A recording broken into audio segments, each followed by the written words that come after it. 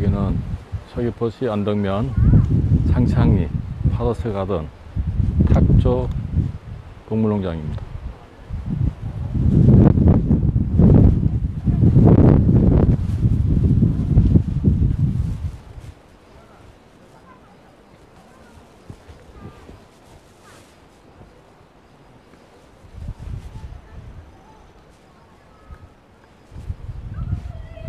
가족들이 자주 먹이를 주원하니까 가까이 가가니까 먹이 줄까 봐 가지고 다가옵니다. 저는 처음 접해 가지고 무섭네요.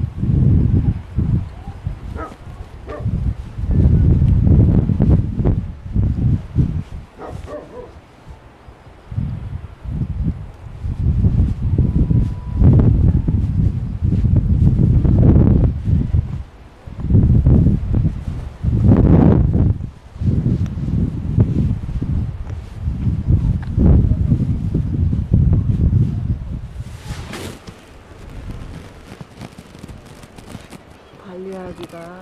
만만치 않겠구나 여기